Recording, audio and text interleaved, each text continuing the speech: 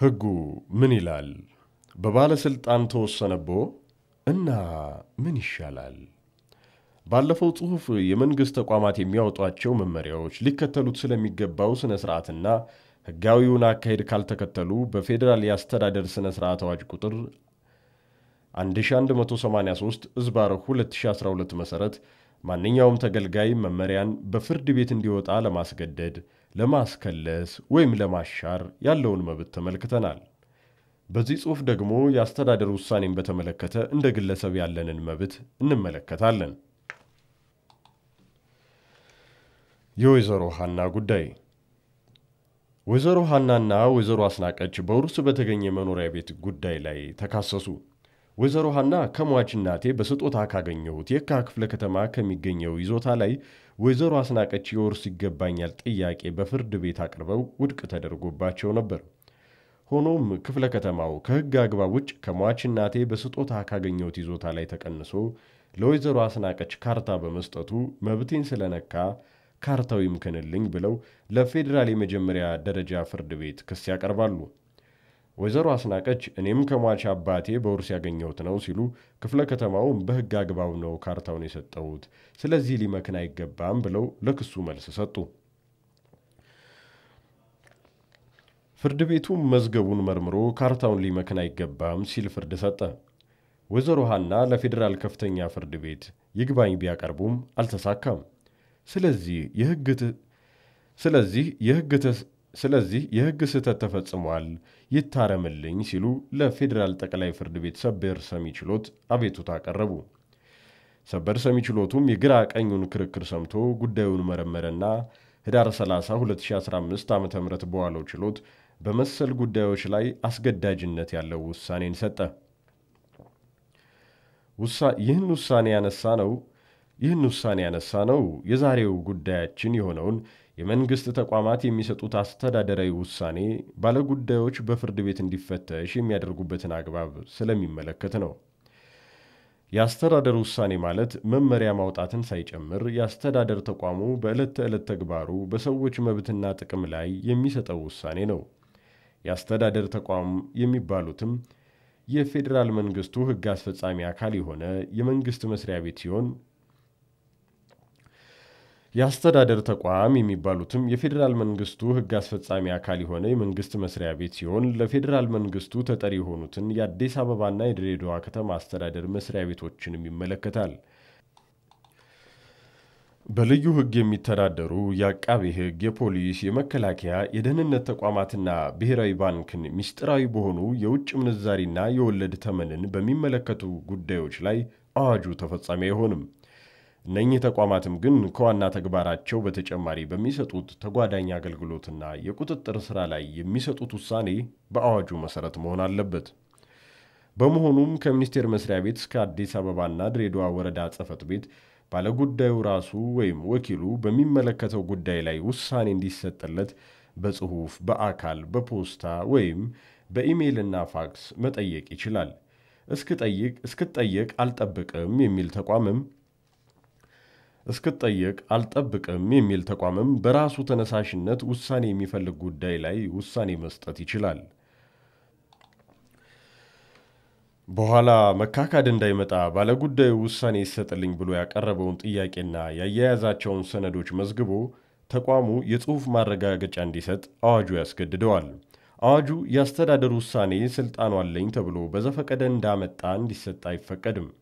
በመሆኑም ሁሉም ተቋማት ውሳኔ ሲሰጡ እንዲከተሏቸው ያስቀመጣቸው መርሆች አሉ። የመጀመሪያው በሚመለከተውና ስልጣኑ ባለው የተቋሙ ኃላፊ መሰጠት ሲሆን ቀጣዩ ደግሞ ስልጣኑ ያለው መሆኑ ብቻ ሳይሆን ከስልጣን ገደቡ አልፎ አለመወሰን ነው። ሦስተኛው የባለ ጉዳዩን የግል ጥቅምና የተቋሙ ዓላማ የሆነውን የሕዝብ ጥቅም አመዛዝኖ እንዲሁም ለጉዳዩ አግባብነት በሌለው ጉዳይ ወይም ፍላጎት ሳይመራ በሙያዊ ስነ ምግባር በበቂ ምክንያት ላይ ተመስርቶና በቅንነት ወይም ያለ ተንኮል መወሰን ነው። በግል ስሜትና ፍላጎት መመራት ማለት የባለ ጉዳዩን በእጅ ነው የመጣው በግር የነማን ወገን ነው የዚህ ሰው ውለታ አለብኝና ልጥቀመው እንዲህ አድርጓልና በዛ ውሳኔ ልበቀለው በሚሉና በመሰል ምክንያቶች ላይ ተመስርቶ መወሰን ነው። በተጨማሪም የዘመድ ቄስ እየፈታ ያለቅስ ነውና ቢሉ የጥቅም ግጭት እንዳይኖር ከባለ ጉዳዩ ጋር የሥጋ ወይም የጋብቻ ዝምድና ወይም ሌላ ከላይ በተጠቀሱት መርሆች አግባብ ሊወስን የማያስችለው ምክንያት ካለው በራሱ ፍቃድ ወይም በባለ ጉዳዩ ጥያቄ ጉዳዩን ማየት የለበትም። ማንኛውም የመንግሥት ኃላፊ ያለምንም አድሎ ተገልጋዮችን ሁሉ በእኩልነት በማየት ሊወስንም ይገባል። ባለ ጉዳይ በራሱ ጉዳይ ላይ ባዳ መሆን አይገባውም። ውሳኔ ከመሰጠቱ በፊት በዚህ ጉዳይ ላይ ምን ትላለህ? እስኪ ማስረጃዎችህስ? ተብሎ በባለ ጉዳዩ በኩል ያለው እውነታ ሊሰማለት ማስረጃውም ሊታይለትና በተቃራኒው የቀረቡበትን ማስረጃዎች የማወቅና የመመርመር መብት አለው። በተጨማሪም ውሳኔው ተገማችና ግልጽ መሆን አለበት። ተመሳሳይ ጉዳዮች በተመሳሳይ መልኩ መወሰን አለባቸው። አንድ አይነት ጉዳይ ይዘው ለእንትና ነፍጎ ለገሌ መፍቀድና ለእንትና በስውር ከኪስ የወጣ የሚመስል ውሳኔ ሰጥቶ ለገሊት ደግሞ የግልጽነት ሂደቱንና ሕጋዊ መርህን በተከተለ መልኩ ነው የሰጠሁት ማለቱን አዋጁ ለተቋማትም ሆነ ለባለሥልጣናቶቻቸው አይፈቅድም። ውሳኔ አንዳንዴ ይቆይና ባለጉዳዩ ተሰላችቶ ከተወው ወይም ሊያገኝ የሚችለው ጥቅም ቀርቶ ጉዳት ከደረሰበት በኋላ ሲወሰን ይታያል።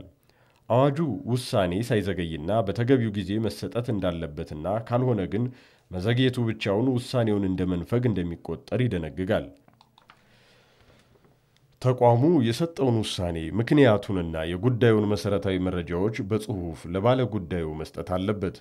እንደ ውሳኔ የሚቆጠረውም ስልጣኑ ባለው ኃላፊ ሲፈረምና በተቋሙ ማህተም ሲረጋገጥ መሆኑ አዋጁ ላይ ያልተጠቀሰው ግልጽ ስለሆነ ይመስላል። ውሳኔው የሚጎዳ ከሆነስ? ባለጉዳዩም ሆነ የአስተዳደር ውሳኔው መፈጸም መብቱ ላይ የማይመለስ ጉዳት የሚያደርስበት ማንኛውም ሰው ውሳኔው እንዲታገድ ለተቋሙ ማመልከት ይችላል። ውሳኔውን የሚያስፈጽመው የሰጠው ተቋም ራሱ በመሆኑ ውሳኔውን ሊያግደው ወይም ድጋሚ እንዲታይ ማድረግ ይችላል። ማንኛውም የአስተዳደር ተቋም የባለ ጉዳዮችን ቅሬታ የሚያስተናግድበት ክፍል ማቋቋምና ለተገልጋዮች ማሳወቅ አለበት። ተገልጋዮችም በውሳኔው ቅሬታ ካደረባቸው ውሳኔውን ለሰጠው ተቋም ቅሬታ የማቅረብ መብት አላቸው። ቅሬታቸው ታይቶ ውሳኔ እስኪሰጥበት ለሕዝብ ጥቅም መፈጸሙ አስፈላጊ ነው ብሎ የተቋሙ ኃላፊ ካላዘዘ በስተቀር ሳይፈጸም ይቆያል። ተቋሙም ቅሬታው ላይ የሚሰጠውን ውሳኔ ለባለ ጉዳዩ በጽሑፍ መስጠት አለበት። ይህን የተቋሙን የቅሬታ ማስተናገጃ ሂደት አሟጦ በቅሬታው ላይ በተሰጠው ውሳኔ ያረካ ባለጉዳይ ደግሞ ውሳኔው የጠቀስናቸውን የውሳኔ አሰጣጥ መርሆች የሚጥስ ከሆነ ውሳኔው መሰጠቱን ተቋሙ ለባለጉዳዩ ካሳወቀበት ቀን ጀምሮ በሰላሳ ቀናት ውስጥ ለፌዴራል ከፍተኛ ፍርድ ቤት የአስተዳደር ጉዳዮች ችሎት ውሳኔው እንዲከለስለት አቤቱታ የማቅረብ መብቱ ተጠብቆለታል። ፍርድ ቤቱም የአስተዳደር መስሪያ ቤቱ በክለሳ አቤቱታው ላይ መልስ እንዲሰጥና አስፈላጊ ያላቸውን መረጃዎች ተቋሙ እንዲያቀርብ አድርጎ በአጭር ጊዜ ውሳኔውን በመሻር በማሻሻል ድጋሚ በሕጉ አግባብ ታይቶ እንዲወሰን ለተቋሙ በመመለስ ፍርድ ይሰጣል። ይህ የፍርድ ቤት ውሳኔም የመጨረሻና ወዲያውኑ ተፈጻሚ ነው። ይህ የፍርድ ቤት ውሳኔም የመጨረሻና ወዲያውኑ ተፈጻሚ ነው። ውሳኔው ጉዳት ካደረሰስ?